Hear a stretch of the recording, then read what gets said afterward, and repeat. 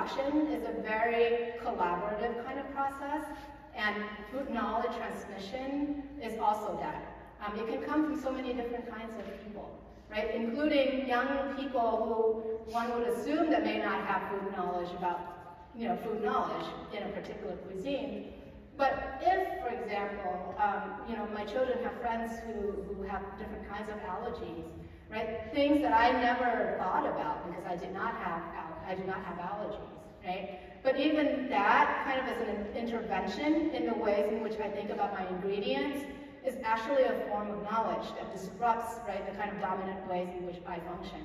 Um, and so for me, that is a, a, a knowledge giver um, in that sense, right?